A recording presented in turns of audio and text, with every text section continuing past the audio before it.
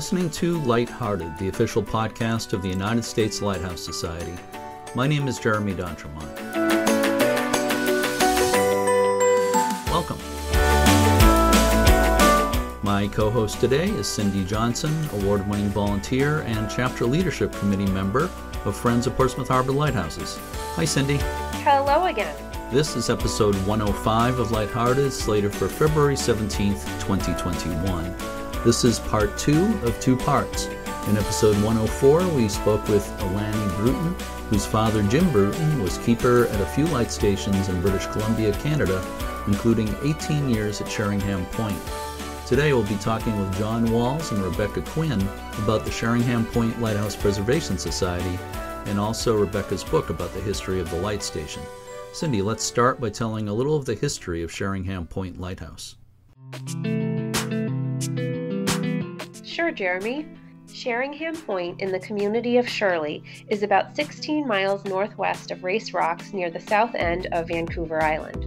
It was named in 1846 for the British Vice Admiral William Lewis Sheringham of the Royal Navy.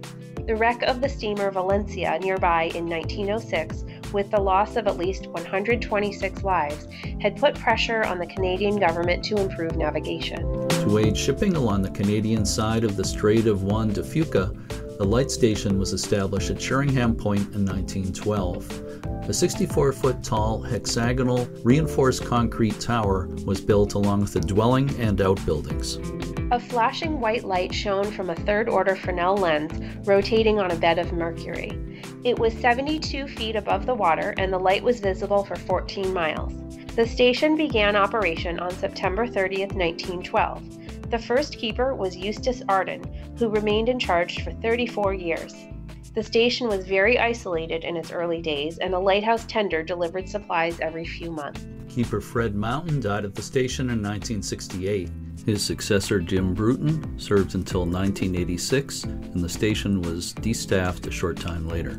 The Sheringham Point Lighthouse Preservation Society was formed in 2003 to preserve the remaining structures and to ensure that the site remains accessible to visitors. Much of the surrounding land is now privately owned. We have two guests today. First, we'll hear from John Walls, Vice President of the Sheringham Point Lighthouse Preservation Society. After that is an interview with Rebecca Quinn, who's written a new book about the history of the light station. John Walls is the author of a book called Celebrating Victoria about one of Canada's most beautiful cities. And in 2015, he co authored with Pete Johnson the book To the Lighthouse An Explorer's Guide to the Island Lighthouses of Southwestern BC. He lives in the community of Shirley and he's an avid kayaking buff. I spoke with John Walls last month. Let's listen to that conversation now speaking today with John Walls, who's the vice president of the Sheringham Point Lighthouse Preservation Society. And I understand he lives, tells me, within a kilometer of uh, the Sheringham Point Lighthouse. And uh, what does that translate into uh, in miles? 0.62. The easy way to do it is figure a half because you're close enough. Yeah. Right. Okay. About a half mile. Yeah. I used to know that, but I forgot. So it's great to have you with me today, John. I really appreciate it. Great to be with you too, Jeremy. We're going to talk, of course, about the lighthouse and the society, but I just want to start by talking a little bit about your personal involvement. How did you come to be involved with the Sheringham Point Lighthouse Society? I can't remember the date, but it was somewhere around in 05, uh, 2005, when uh, a gentleman named Michael Galizio uh, knocked on my door, introduced himself, and said he was a president of the society and that there was a meeting that Saturday, and he invited me to come. And uh, that's how it all started. It was a knock on the door. Were lighthouses on your radar before you? Well, you must have been familiar with the Sheringham Point Lighthouse, but lighthouses in general, uh, were you kind of a lighthouse aficionado before you got involved? An aficionado is a very good term. I've been always fascinated with the mystique of lighthouses. They, they're iconic symbols, they're historic, and they're just awesome buildings, and they've made a difference uh, throughout time. So let's talk about specifically about Sheringham Point Lighthouse. There is, as I understand it, some ongoing preservation happening. Before we talk about that, I just wanted to mention to you I visited Sheringham Point Lighthouse five years ago during a, a trip where I drove from uh, San Diego, California, uh, up the entire West Coast and took a ferry to Victoria and saw about 15 BC lighthouses. it is a, a beautiful spot there. So I just wanted you to know that I've actually been there. That's fantastic, Jeremy. So as I said, there's been some uh, preservation going on at the lighthouse, and I'm just wondering if you could tell us what's been accomplished so far. The main person involved, as far as the financial backing, is a gentleman named Peter Westaway. Uh, his wife Brigitta. They have the Westaway Foundation. He's actually from Toronto. And uh, as of now, I don't have the exact number, but he's donated through his foundation up to $400,000, which has come down to the highest donation from a private individual to a lighthouse in Canada. Wow. Yeah, we got a, a check from him, I think around 2013 for a thousand dollars. It was just like just out of the blue in the mail. Here's a thousand dollars, nothing attached to it. And so naturally we wanted to research it. And uh, he ended up coming out and we ended up going to dinner and having uh, dinner and wine and tours to the lighthouse. And that's how it all started with Peter. And he Wow. lived in a lighthouse in uh, outside of Toronto that he's renovated. Do you know which lighthouse that is? It's Long Point. It's on Okay. Lake Erie. Just south of him would be, of course, uh, upstate New York. So that that's amazing. There's a lot of lighthouse groups in the U.S. who would love to get that kind of donation. Specifically, what's what's been done so far? There's sort of a isthmus out to the lighthouse, and on both sides from from west coast storms that we and we just had a big one recently. It was there was some serious erosion. So the first thing we did was shore that in. One side got a new wall, and the other got boulders. and that shored it up so we wouldn't have a lighthouse on a little island out there. So that was the first thing we've done. The major stuff that's been done is the painting of the lighthouse and the restoration of the lantern room, uh, the glass panels. They were they were shot out from people in boats with shotguns. It was just a mess. The place was in a state of atrophy. We had the lighthouse painted, and we've had a trail built to get down there as well. There's a regular road that you can walk, but now we've got a trail just about completed. So the restoration of the outside of the lighthouse, the shoring up, and now the trail, those are three of the, the major things that we've gotten done. That's fantastic. And what major things remain to be done? Well, there's one major, and uh, we're not sure exactly what option it's going to be. And it, it is the what what makes a lighthouse iconic, the light. In the lantern room, there is no light. So from the Sooke Region Museum, which is a um, uh, Sooke is a local town near Shirley, Mhm. they had the foghorn and the uh, third order Fresnel and other uh, artifacts from the lighthouse since 86. And uh, we were able to get them back on a permanent loan, so to speak. I, I know that sounds a little oxymoronic, but that was how they put it.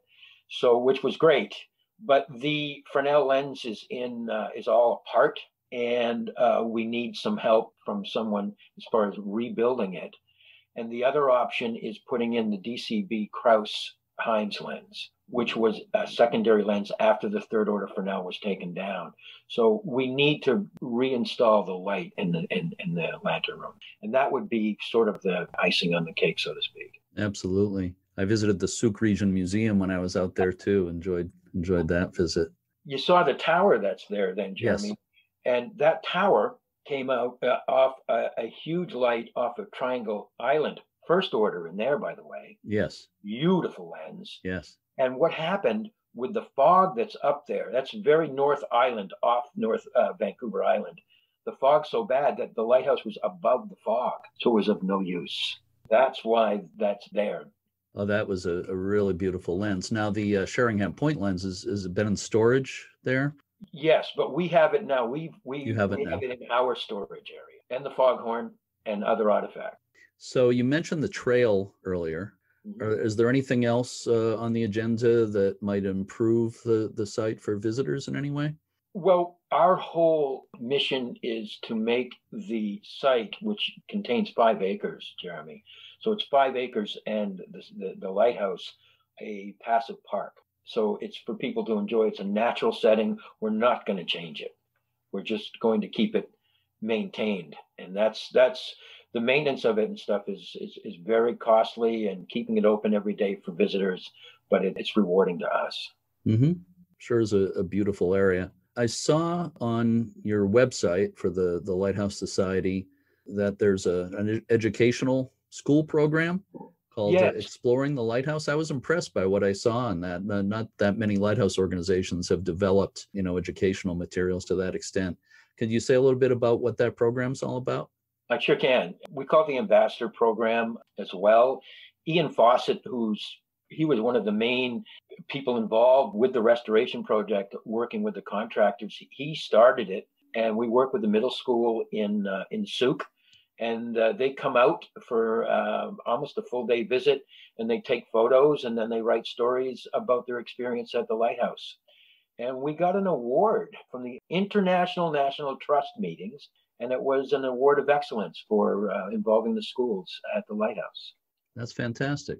I, I can tell you this jeremy that i've been down there and had the opportunity to be down there when the kids are there and it, it's just amazing to see what they're running around and they're taking photos and they're just all excited. And it's it, it really does mean something. And it's a great learning experience for them. Oh i'm sure. That's that's really good. It's so important to get kids involved in these places to get local kids interested in local history. And it's not just the history of the lighthouse but it's the natural environment as well of course. And speaking of history uh, just uh, to go to the beginning sheringham was built 1912. So we just not that far back uh, celebrated our 100th uh, anniversary. Mm-hmm. But these lighthouses on the west coast of British Columbia w- went up fast when the Valencia tragedy happened. The Valencia, the ship that left San Francisco, missed the Juan de Fuca coming into Victoria and ended up in the rocks north of uh, Port Renfrew. Such a 136 lost their lives in that tragedy. It was mostly women and children that did. Yeah. Some of the men did get get out of it. The um, the Canadian government put a mandate out to build these lighthouses, and that's where Sheringham came from, from the Valencia.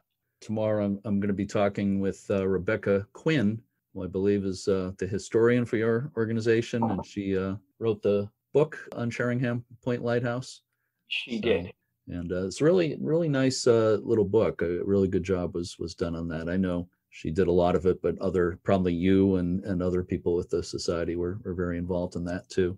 We all were, and Rebecca did a spectacular job. The book is is just recently got out into the retail sector, and it's selling well. Good, good. I've got my copy right next to me here, and I, I really did enjoy that. Another thing uh, that I discovered when I was researching your lighthouse is that uh, the society is involved with a whale monitoring program. Can you explain that? Yes, Vancouver Island, uh, Puget Sound, Seattle, Washington, that area, it's all called now the Salish Sea. And out here we have three resident pods, J, K, and L pods. Uh, right now we have around 78 orcas in those three pods. Mm. And where Sheringham Lighthouse is on the Juan de Fuca Strait in the Salish Sea is a quarter for the orcas as they're um, they're feeding. And they feed only on salmon. They don't. They're not carnivores as far as whales or seals and things like that. These are residents orcas, and they just feed on uh, basically salmon. And Chinook is at the top of their diet. I was disappointed when I was out there. I didn't see any orcas.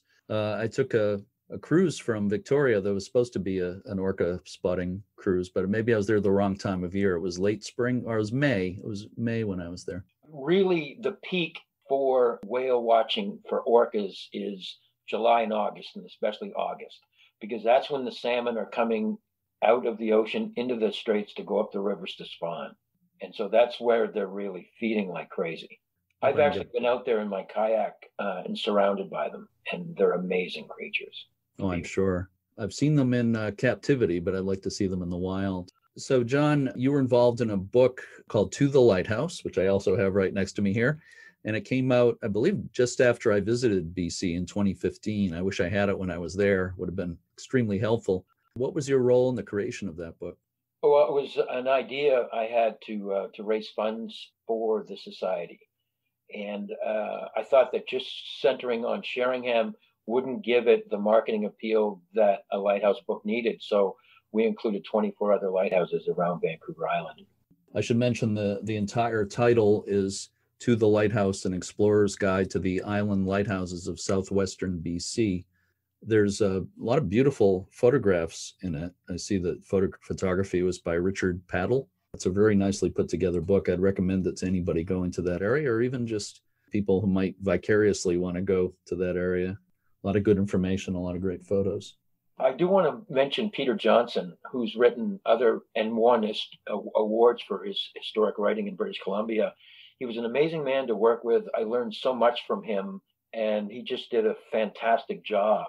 Each lighthouse has um, a rating one to five getting there, and each lighthouse uh, featured in the book has stories on keepers, shipwrecks, ghost stories, and what have you.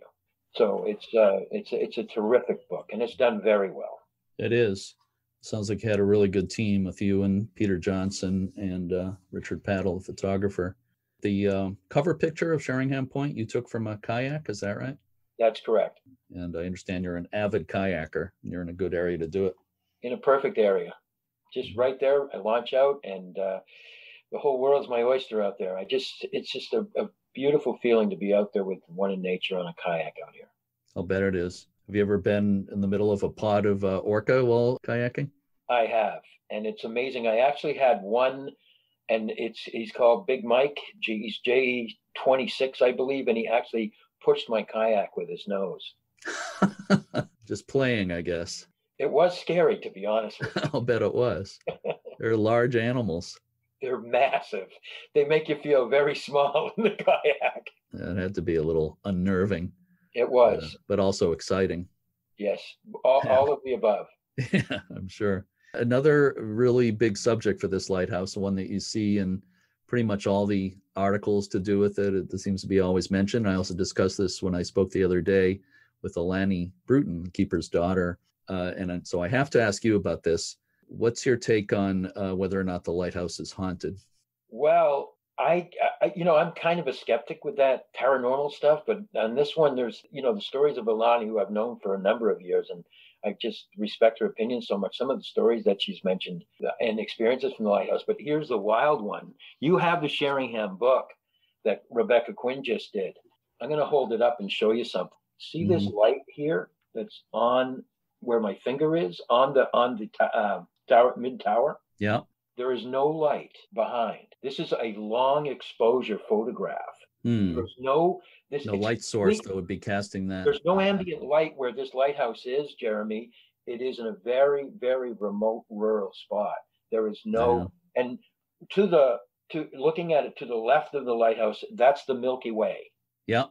Uh, just so people listening know, we're actually doing this interview via Zoom so we can see each other. Of course, people listening will just hear the audio. But if you get the book, Sheringham, a Canadian Heritage Story, you'll see the picture we're talking about. I'm looking at it right now, and there's a kind of a almost blurry type of uh, light hitting the middle of the lighthouse tower. And uh, that's really interesting that there was no no apparent light source that would cause that.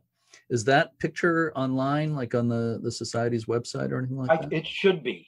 It should be. I, I, I haven't been on uh, on the site just recently, but it should be up. Okay. If not, I'll make sure it is. Okay. Great. So of course the keepers' houses are gone now, and uh, Alani had her and her uh, other family members had their experiences in, in one of the keepers' houses that used to stand there. So I don't know if the ghost would have migrated to, the lighthouse tower once the other buildings were gone. Has anybody had an ex- any experiences that you know of besides this picture in recent years? Not that I know of, but this this picture does make your hair stand up on end when you, when you think about it. Because behind there, it's completely dark, Jeremy. Yeah. No light. That is extremely interesting. You kind of touched on the value of lighthouses in our world, our society earlier, but why does Sheringham Point Lighthouse need to be preserved? Well, when I think about a question like that, I think about the pyramids and other things that are so iconic, and again, so much a part of our history and our heritage that they need to stand. And when the society fought for years for to save it, it was a struggle. It was a political struggle. And we started in 03 and we actually got ownership in 2015. So it was a long haul. And it was we were all together because we had one goal in mind was to was to get ownership and preserve it. And now it's preserved for visitors and locals to enjoy for years to come. That's fantastic. Congratulations on all that's been done there already. And uh, I'm sure it's going to just continue to, to get better and better. So I have one more question for you for bonus points. what is your favorite part of your involvement with the Sheringham Point Lighthouse Society? Well, it's kind of two pronged. Um, as I mentioned, the years fighting, that was everybody was together pushing in one direction. And it was a lot of fun. And then it's almost like your parents and you have the baby, and it's so much excitement, and you're all working for it. Then you have the baby and go, oh my God, what a responsibility. And then it flips to we're property managers. so we went from an advocacy group to property managers. And it, is really uh, a dichotomy. But as far as my favorite part, my favorite part is very personal. When I go to the site and I see people walking up past me with smiles on their face and I interview them and I say, how was your experience? And, and, and they just love it.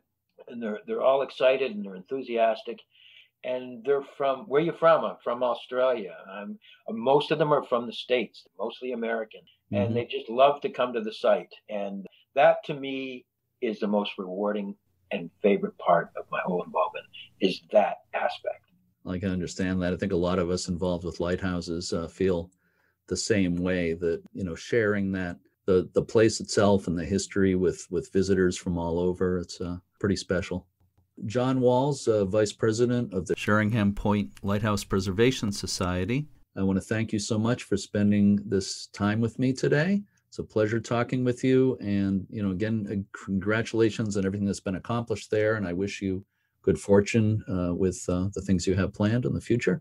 Thank you so much, John. Well, Jeremy, this was terrific. And if you do make it back out, I'll give you a personal tour up to the lighthouse and inside and up.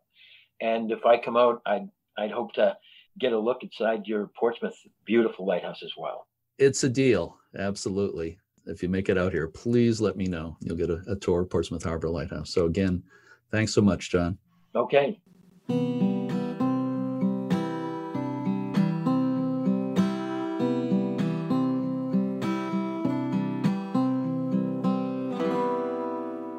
Next, we'll listen to a conversation with Rebecca Quinn. Rebecca is a PhD student at the University of Warwick in Coventry, England. She was born in Alberta, Canada, and she's been visiting the Sheringham Point Lighthouse every summer since she was seven years old. She considers British Columbia her real home. In 2013, Rebecca was elected to be historian of the Sheringham Point Lighthouse Preservation Society. She worked with Society volunteers to create the book Sheringham, a Canadian Heritage Story, which was published last year. I spoke with Rebecca Quinn recently. Let's listen to that conversation now.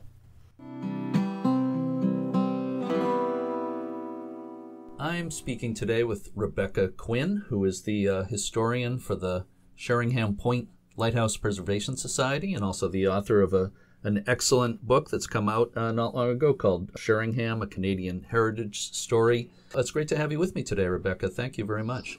Oh, thank you so much for a lovely introduction. It's great to be here. Before we get into the book and a little bit of history of the lighthouse itself, uh, I'd like to just uh, ask you a couple of questions, you know, related to your background. In your biography in your book, it says you consider British Columbia your real home, although I know you've been going to school in England. You've been visiting the lighthouse since you were seven years old. I'm wondering what's really special to you about that area and about the, the lighthouse itself. yeah, so I definitely moved around a lot, still do. But I almost always spent my summers up uh, in Shirley in Sooke. And uh, invariably, if it was a lovely day, we'd walk up to the lighthouse. And I've seen it go through multiple iterations of when it was under the Coast Guard's protection and then as it transferred eventually over to the uh, preservation societies. And it's just always been such a neat thing to be able to go and see. And um, as I got more involved with the society, I started to understand the significance that it played to the rest of the community and all of the history that went into it. So it's just continued to grow in importance to me as both just a wonderful place to go and spend an afternoon or in a place to read about. Well, I understand. Everybody should have a lighthouse they can walk to. That's a that's a good thing to have. When you're in BC now, are you still really close to the, the lighthouse? We are. We are just down the road, actually. Oh, excellent. So you still the easy walk. Yeah, yeah, good.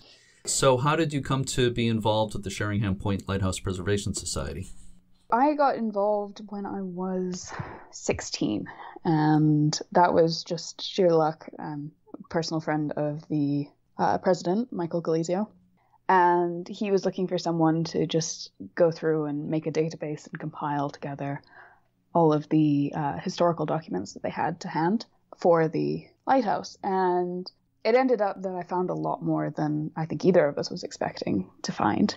I went from just making a database to making a little blurb that's compiled the history to actually making a full booklet, which was effectively the first iteration of this new book. From there, it just kind of kept going because I found all this stuff, and there was, as more records were released from the government, there were there was more stuff to find, mm-hmm. and so I continued to get involved through writing newspaper articles, made a few promotional videos for them, did lots of oral history interviews, just anything and everything I could find, and I was always tracking down someone in my off time. You're obviously a talented historian and, and writer, researcher, but from your biography, I understand what you study in. I think you're uh, going for a, a doctorate at this point. Is that right? And what you study is nothing to do with uh, history or anything like that. Is that correct? That is correct. Yes, I am studying uh, bacteriophage genetics, which is viruses that attack bacteria. So not remotely related to lighthouses, unfortunately. I've always had a love for history throughout all of my education, and so this just naturally fit. Oh, it shows. you know, your love for for the history really shows in the book. So you you've touched on it, but how exactly did the book come about? Effectively it was really just I started out with the documents and stitched it into a Word document that said, you know, this is who was there and here's an interesting factoid about how the tower came to be, etc. And then as I gathered more things and I found out, you know, oh, there's some documents at the Coast Guard, so I went and got, looked at what the Coast Guard had down in Victoria and so on. And then slowly people from around the community started cropping up that had little bits and pieces of things that could be included. And as that happened, more and more of this story came together. And so that was the original history of the Sheringham Point Lighthouse. And then the one that was just published was about four or five years of additional research that came out and was being released by the government. So I just continued to flesh out everything I could find. Had some more interviews, and then started finding, yeah. although all of the original light keepers have passed away, there were quite a few assistant light keepers who were much younger, and so they are still around. And I started finding them and sitting down with them for interviews. And then I found there's all these amazing stories that get lost in just government documents. Mm-hmm. And so I just had to include them in this new version, and that's effectively how we get the heritage story out of it. Well, it's beautifully put together. I'm flipping through it as we speak here, and there's so many excellent, you know, really interesting historic photos and more recent photos. It's a it's a beautifully put together book. Did did you do the design yourself, or did somebody else do that? Actually, it was Noella Ledrew did the graphic designing for it. Um, I worked with her and collected all of the photos, and we worked together to figure out how things were going to fit together. But in the end, she was the one who pulled it all together. Well, she did a great job, and you know, you definitely had a good team there. It really is nice. You know, uh, there aren't that many lighthouses. Even some of the the really best known, you know, tourist attraction type lighthouses, both in the U.S. and Canada, haven't had anybody put together something like this this book, you know, for them. So, you know, I, I just uh, really commend you on on uh, what you did here. It's it's uh, impressive and nicely done. You just mentioned you have uh, you talked to some of the the ex assistant keepers but you have quite a bit of material on uh, a lot of the keepers in the history of the, the light station. How did you find that material? Some of them had military records, so that helped to track down as as certain year marks came up, the government would release the military records. So people like um, Thomas Charles Cross, um, Alfred Dickinson, and Thomas Wested, for example, they had military records that were accessible from the government files. And then some of it was just trolling through old documents that came from um, like immigration records to try and piece through who came from where. And there was just a lot of Googling on it, honestly, and tracking down. I eventually tracked down Fred Mountains and his wife Nellie's grave sites, which I was hoping would give me more information. It did not. Then, as I found more assistant keepers, sometimes they had a little bit more insight that I could add to that as well. But yeah, it was a hodgepodge of uh, different locations sure. things that I found. And of course, you had access to uh, Alani Bruton, whose father was Jim Bruton, was keeper for what about 18 years. So that was a, a really important source, obviously. Absolutely, yes. I spoke with Alani the other day. She's got so many good stories. So let's uh, just talk a little bit about the, the early history of the lighthouse, or actually the reason for the lighthouse. Uh, I know there are a lot of shipwrecks in that vicinity, but especially there's a pretty famous one that had something to do with the, the lighthouse being built. Can you maybe say a little bit about that? Sure. The wreck of the SS Valencia is the one that's considered the turning point for a lot of the lighthouses along the Strait of Juan de Fuca and being the impetus for their creation. Mm-hmm. And the Strait of Juan de Fuca is often nicknamed the graveyard of Pacific for how many shipwrecks it has on the bottom of the seabed. Um, but this particular ship left from San Francisco and was headed for Seattle and Victoria. And it severely missed the turn into the Strait of Juan de Fuca because there was no beacon to mark the entrance. And I think it was about 20 miles that the captain had overshot and then turned directly onto a reef. I don't think it's often talked about because usually the horror of the the Titanic is uh, overshadowing, but it was described as one of the most horrific one of the most horrific shipwrecks of mm-hmm. that time because there was only 37 men who survived, none of the women and the children survived, and it was a horrific scene to behold of just everyone clinging onto the wreck as it was getting pulled off of the reef and no one surviving. So after that, there was a commission that then said between the U.S. and Canada, we need a lot more lighthouses on this uh, on this strait, and that was how Sheringham came about. The ship, the Valencia, was I'm sorry, what year again did that happen? The Valencia crashed in 1906. Mm-hmm. So it was okay. six years before the yeah. Titanic. Right, and six years before the lighthouse was built. Right. Yes, construction started in 1910. Back to the uh, we're talking about the the keepers. Do you think uh, Sheringham Point was a a, a, good place to live, a comfortable place to live for the keepers and their families. Donald Graham, you probably know his books. He, he called it a plum station, which means you know it was a place that keepers want would want to be uh, with their families. How do you feel it compares to other places? From what I've been told by the assistant keepers that I've talked to, uh, Sheringham Point was considered a much easier location to live at just due to the proximity of the station to the town, and that it was not too isolated. Yeah. That you were going to have visitors, that you could have people from neighboring areas that might come visit you, rather than being on some island that no one's ever going to come and you see one ship coming in and out with your supplies every couple months. I believe that's what he meant by it was a plum station. right. Yeah. No, I know there's a lot of very remote lighthouses along the, the BC coast, and makes me think of uh, in the French lighthouse service they use the the term traditionally uh, enfer et paradis, the uh, hell and heaven stations. And uh, you have a lot of hell stations in BC, but Sheringham relatively would be a, a heaven station, I would say, for, for the keepers. I've never heard that one, but I like that, yeah. yeah. Eustace, that's how you pronounce it, right? Eustace yes. Arden was the first keeper, and he was there for 34 years. That's a, a really long stretch uh, for a keeper to be at one lighthouse. When you uh, think about him, what really stands out for you? Yeah, Eustace is a really interesting character because he was, as you just said, there for the longest amount of time, and he probably saw the most development for the station. I mean, he was there when it was originally just a tower, and then over time they added the foghorn station and additional components to the station. And the other thing is that the Ardens were and still are a very prevalent and important founding family for that area. So it perfectly ties in with the history of the area that he would be one of that he was the first lightkeeper. And uh, we have a lot of pieces of historical things that came from that family. And so we know a bit more about the stories and we know we have all the letters that were sent to the coast guard in correspondence. So you can tell a little bit more what their struggles were at the time like having a road access that was passable and different kinds of quarrels that they get in with their neighbors and the struggles of keeping livestock versus water access. It's all sorts of things that you see a lot more of the original foundings that the later keepers wouldn't have experienced.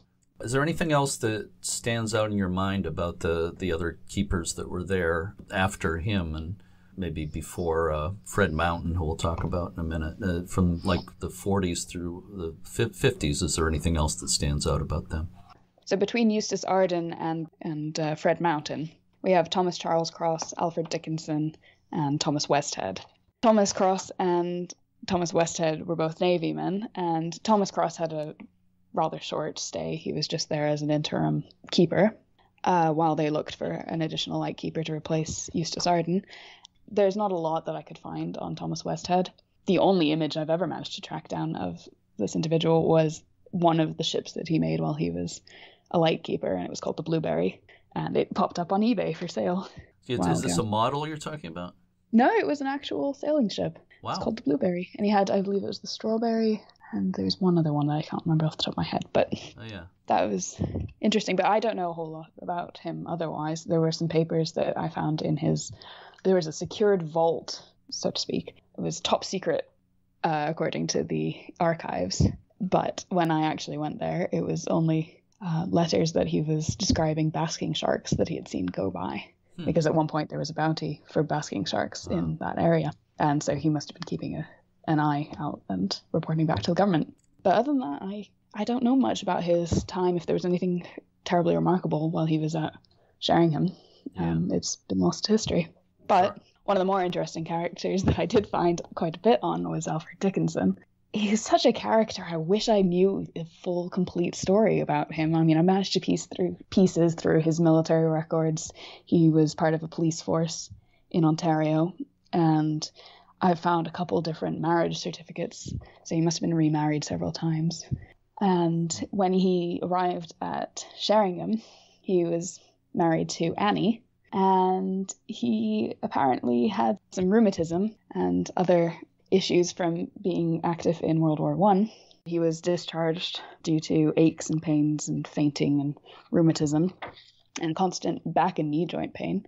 But then after a certain time that he spent at a logging camp in Ocean Falls, BC, he then joined the Lighthouse Service and he served at three stations with Annie, his wife at the time, um, Quatsino being the first, first Narrows or Capilano, and then Sheringham. And what was really interesting about Dickinson was I managed to get a hold through, I believe it was through the estate of Donald Graham. I got a hold of his captain logs and his journals that he kept uh, while he was at Sheringham, and that really offered another insight into his experience at the station. And he's got some amazing stories about how he just couldn't seem to keep the curtains that surrounded the uh, lens from catching fire. They were always on fire, according to him. Huh. Even if they were on the ground, even if he took them down, they were on the ground and they were on fire. Hmm. to having some contretemps with his assistant keepers who would be going and poaching deer, and then he'd think, okay, I'm going to go turn them into the RCMP and all sorts of things. But what was really lovely about reading through his diaries as he gets there and he seems rather disappointed. This is not up to his standards, whatever they were. And over the time, you see this evolution of someone slowly falling in love with the place and he's got it back into a bit better shape and he's happy with it and he's by the end he seems pretty happy with the work he's done there and is kind of sad to leave and you can't obviously include an entire logbook in in a book that you're writing about all sorts of people but for me that was one of the most interesting things to look back and say oh okay well it, somebody really saw a lot of growth at the station it's really really interesting the next keeper after the ones you just talked about was Fred Mountain, who was there 59 to 67. He actually died at the station. Anything other than that that was especially uh, interesting about him? Fred Mountain was a career lightkeeper, and he was at several other stations, and Sheringham was his last. I don't know terribly much about any interesting stories. I think for him it was a very standard and routine posting. There was a story in newspaper clipping about um, getting a sliver of I think it was metal in his eye, mm. and because they were just a little too far out from anywhere to go get quick medical help, his wife Nellie had to pull this out with a pair of sterilized screwdrivers. Oh man! Wow. And I remember I've spoken to one of his assistants and his wife quite a bit, Mike and Pat Cross, and they telling stories about how you know you just have to resourceful and things happen and you just got to keep going and do the best you can. And he said that, I be- Fred Mountain said that, I believe. Uh, he said he must be part doctor, part seaman, and part engineer. Mm. And he must be able to adapt to the solitude. Again, like Alfred Dickinson, he said that he would do it all over again and that he loved the station. So it's another heartwarming ending to Yeah. a time at Sheringham. The, my next question maybe maybe relates to Fred Mountain. It's something I have to ask you. You know, you read uh, any any uh, website mention of Sheringham Point, uh, anything I, I've read about it seems to mention the fact that it's supposedly haunted. And I'm just wondering if you have any comment about that subject. Absolutely. So there's a couple different theories out there. I unfortunately have yet to experience my own ghost encounter at Sheringham, but there are a couple theories if it is haunted, who it might be. And I know Alani Bruton believes that Fred Mountain is around, and that there's one story that she told that she may have told in your the interview with you about Fred insisting that a paint scraper be left on the workbench, or not be left on the workbench, be left on the um, windowsill in the workroom. And she was absolutely convinced that he would move this scraper and that he would occasionally walk up and down the hall in the house. And there's been a couple of other people who have said things like, Oh, I know, I feel like I saw a ghost. And there's another instance. So Annie Arden, Eustace Arden's wife, actually became handicapped by the end of the time that they were there and she apparently in the old house would be on the top floor and had a bell to say i need help come help me.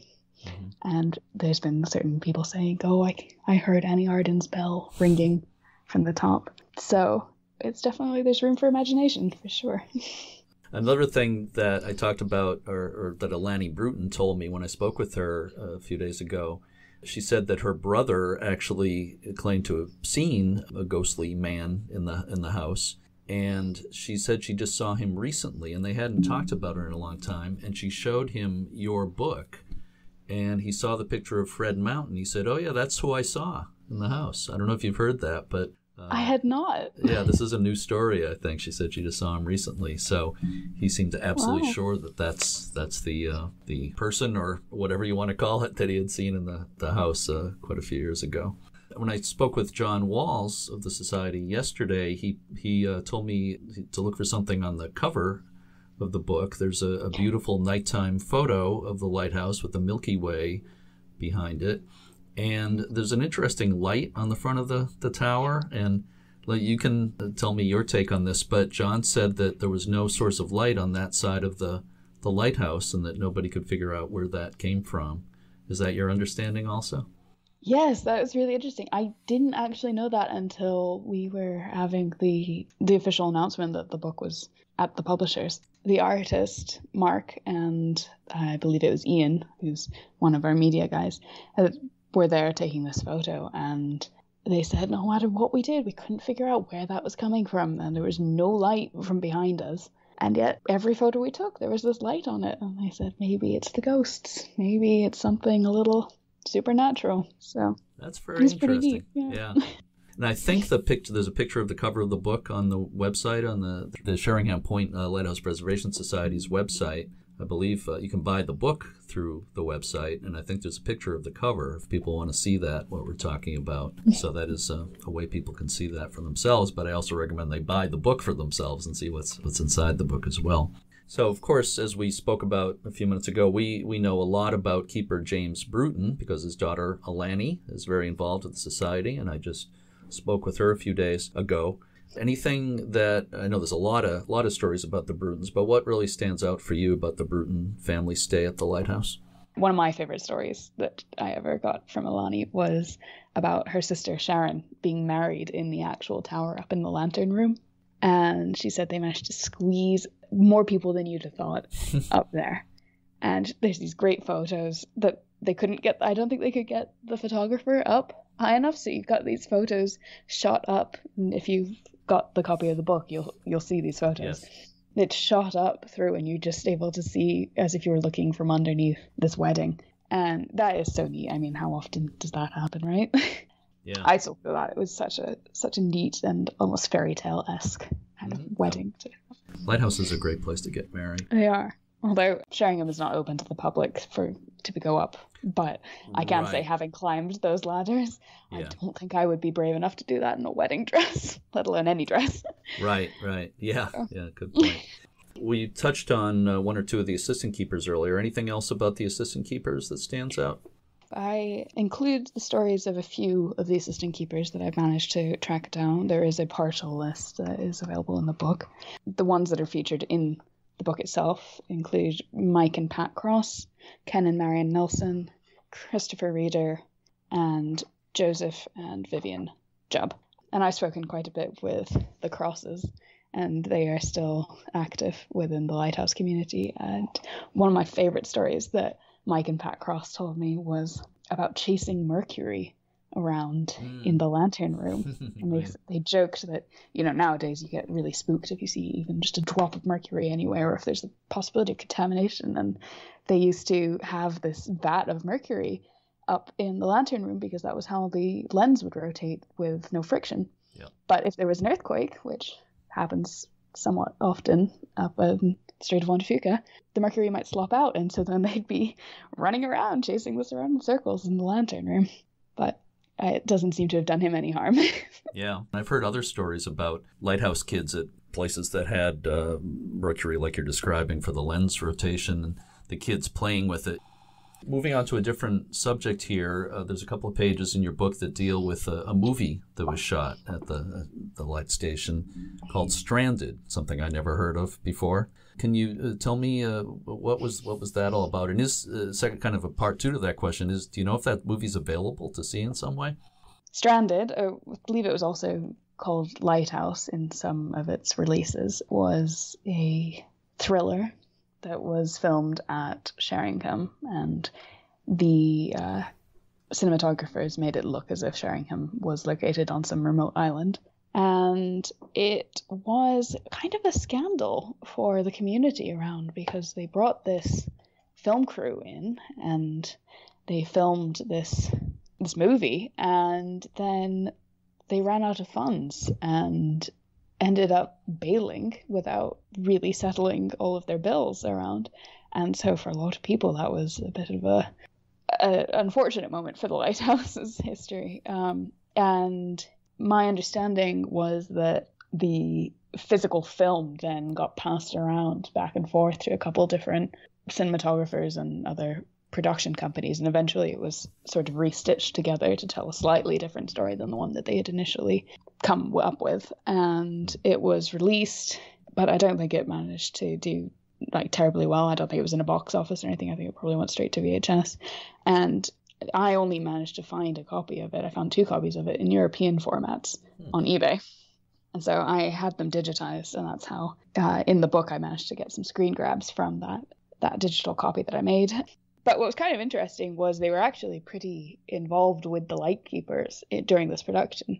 At the time, it was Kurt and Marika Seahack who were manning the station, and they'd have them changing the lenses and the light so that it had different colors, and they were using the actual house that the keepers were living in and they were fitting it so that it looked like it had two stories instead of one and putting shutters on and putting fences in and they said it was absolutely fascinating to be living on the set of this movie. So another interesting story about the movie that um, i don't think is featured in the book i don't think it made it into the final photos that were included was there's a scene at the end where the bad guy leaps from the lantern room and plunges to his death at the in the rocks. But they had hired a stunt double for this shot, and apparently the they set out this huge pillow at the base of the tower that he was aiming for, and the, the pillow went right to the edge of the rocks. And this man apparently was so freaked to do this shot that he was throwing up and so nervous and in the end leapt and he said he landed two feet from the edge of the pillow on the ah. rock absolutely nerve wracking. I can't imagine doing that having walked around there. I think he was probably a little shaken for a couple hours. I would bet. I guess so. Wow. What in particular about Sheringham Point Lighthouse? Why, why should it be preserved? I think there's a couple reasons um, that Sheringham Point and lighthouses should be preserved. For me, one of the things that pops into my mind initially is when you think about Canadian history, particularly on the West Coast, I think a lot of First Nations history pops into my mind. But there are certain things that won't last, like you see these beautiful totem poles, but they are eventually eroded by nature taking its toll. And the lighthouse towers, I think, are a similar beacon of culture and history. And, you know, if they're not maintained, they too will go the same way. And here you have an opportunity to save another piece of history in the Canadian story. I think that it was incredibly important, especially for the community around that Sheringham be saved because it effectively was one of the central points that formed the community around the station. And there's something magical and hopeful about lighthouses. They're a, a beacon of hope for a lot of people, and they're very romanticized. And they also, as corny as it sounds, they are a good tourist location. They will mm-hmm. bring some amount of economic draw to the the community around. I mean, we have several locations nearby that are named after either the Sheringham Point Lighthouse or they use Sheringham Point as an icon. And finally, they're kind of a, a bygone era. They're a holdout from something that we don't really use very very much anymore because GPSs have largely taken over. And they're this piece of history that you have the opportunity to go and see how things once were. And you can walk up and touch it, which you don't get that a lot of times in museums. And to have something that you can walk out of your back door and up the road and suddenly it's there, it's it's extremely important, I think, for a lot of people and knowing the history of the location. Definitely. That's a lot of good reasons uh, to preserve the lighthouse and, and very well said. So I have one more question for you for bonus points. Okay, so get ready. So, what's the best thing about your personal involvement with the Sheringham Point Lighthouse Preservation Society? Oh my gosh. You know, when I started, like I said before, I was 16. I think for me, the, the lighthouse was always just this archaic piece of a time gone by that you could go and kind of scrabble through some of the bushes and go and see. And it never really occurred to me at the time how much history and how much importance that it had to families in the area. It was just this tower that was there, and sometimes the Coast Guard was there. As I got more involved, and I started talking with Alani Bruton and the Crosses and everyone else that was involved. I really gained this appreciation for this world that I would never have known about. And to me, that was exceptionally rewarding to be able to say, okay, this is an era, this is a chapter that's been closed in Canadian history, so to speak. But we can keep it alive by writing down the stories and talking to people and sharing it with everyone else. And then, as Sheringham Point Lighthouse Preservation Society took over the station, it became more from a dream to a reality that it was going to become a passive park and that this was not going to be lost forever, that there was going to be this ongoing piece of history that everyone could come and see. I think that to me was the most amazing thing to see that it's not just this one site that you can visit, it is this entire network of history and people you can see and interact with, and it's there's amazing stories that you read about, but here it is, it's tangible. Well, you've done a wonderful job of recording the, the history of that place and, and sharing it through uh, this book, which again I, I recommend to people, people who are, you know, maybe in that area who know the lighthouse, but anybody who's a lighthouse buff, I think, would, would enjoy the, the book. Is it? I know it's available through the, the website, the Sheringham Point Lighthouse Preservation Society. The website is is what? It's just sheringhamlighthouse.org. Okay. Uh, Rebecca Quinn, I, I, just want to thank you again so much for spending time with me today, and uh, congratulations on the, the book. I really appreciate your time today. Thank you so much, Rebecca. Oh, thank you so much. It's been an absolute pleasure.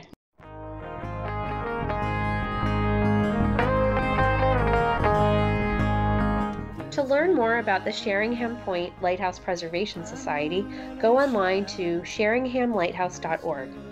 There's a Lighthouse store section on the website where you can buy Rebecca Quinn's book, Sheringham, A Canadian Heritage Story. I visited Sheringham Point Lighthouse during a West Coast trip in 2015. It was nice to revisit uh, through these interviews.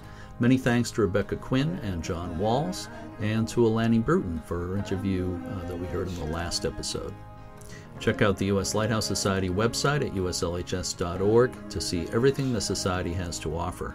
Next week's episode of Lighthearted will feature an interview with Tim Bailey, a former Coast Guard keeper of Halfway Rock Lighthouse in Maine.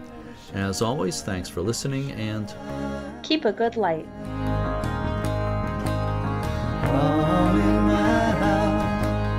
I'm gonna let it it shine. All